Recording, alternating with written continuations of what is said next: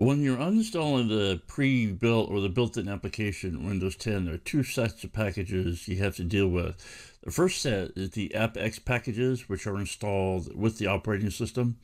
The second set is the provision packages, which are installed the first time you log into Windows as it sets up a profile. So I'm starting here with Windows PowerShell ISE opened up as administrator. And the first thing I'm going to do is get a list of the packages are installed and we'll use the get appx package commandlet. Go ahead and F8. We get a nice list of the packages and all the details for each particular package. The same thing with the provision packages. The online switch is telling the commandlet that I'm interested only in the packages in the current online operating system. You do have the option to remove the packages from an image file you just need to put the path parameter and then tell it where the image file is located, and then you can remove those packages from an image file, which obviously can be installed later. So to get this list, we'll hit F8. Again, we get a list of packages and the details regarding that package. Now, to uninstall a single package is as simple as just calling the get appx package, inputting the package name, and then pipe it through the, the remove appx package commandlet.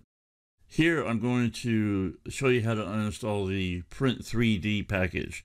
Let's go ahead and hit F8 and we'll get the, in this case I'm interested in the name of the package. You can see here we've got the name Microsoft Print3D and then we'll just pipe it through the remove appx package commandlet. F8 as you can see, it has uninstalled it. Let's go ahead and verify that. And you see it came back with an empty prompt. Now, to uninstall the provision package, we're going to use a particular field.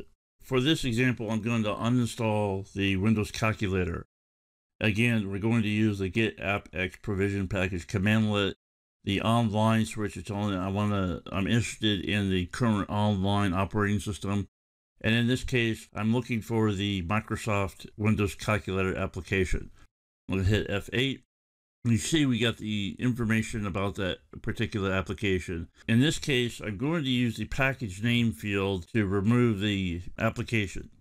And to remove it, we just call the remove appx provision package commandlet. Again, we need to tell the commandlet that we're interested in the online current line operating system and then the package name, and then we give it the package name that we're interested in. In this case, we're using the full package name of the Windows Calculator app. We'll hit F8 to uninstall that. And now let's go back up here and make sure that it got uninstalled. I'll try to get that package. And you can see it returned empty prompt and the package has been uninstalled. Now, uninstalling single packages is a little impractical as you probably have a list or several applications that you want to uninstall. And for that, we're going to build out a list of packages and then build an array and then build a for loop to step through the array. To get started, we'll need to get a list of the packages. And here I'm going to, just as before, use the get app x package to list the current packages that are installed. And as it goes through the list, the fields I'm interested in is the name field. I'm going to use that name field in my script. And here I'm going to again call the get appx package. I'm going to select that name field and then output it to a text file and then open it up in the ISE so I can manipulate it.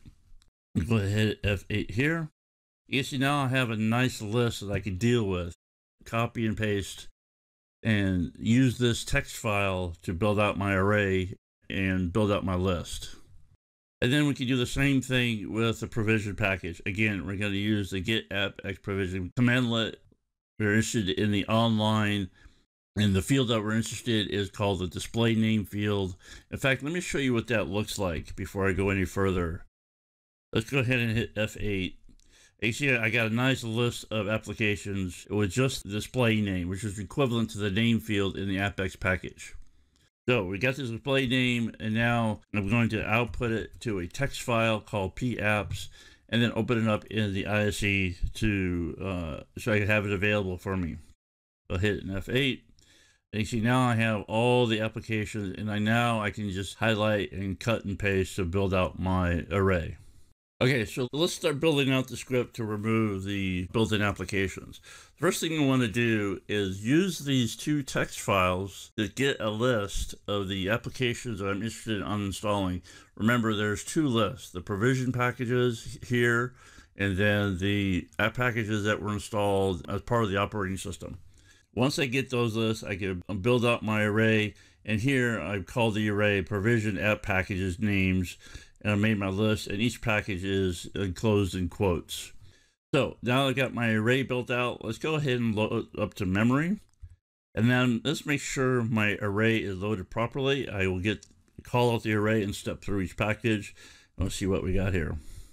You see now the last item is Zune video and the last item here is also Zune video.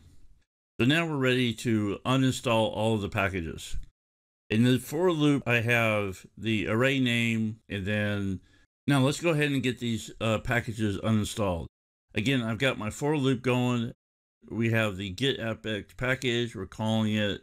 The names I'm going to use are the names in my array, and the all users switch is to remove the packages for all users. Any user that's been logged in or remove all the packages for each profile. And then we'll pipe it through the remove appx package commandlet. And for the provisions, just like before, we're going to call that get app x provision pad commandlet. We want the online or the current operating system, and we're going to use the display name field. Again, we're going to step through my array and then pipe it through the remove app x provision package commandlet. Again, telling it we're interested in the current online operating system. So let's highlight this code. It'll hit F8. This will take a few minutes to run, and I'll see you on the other side. Okay, my script has completed running and has completed uninstalling those built-in applications. Let's go ahead and verify that again. Again, let me load up my array just to make sure. And then we'll get a list and make sure that they all been uninstalled. There you go. I returned nothing. So all those packages in my array have been uninstalled. Thanks for watching.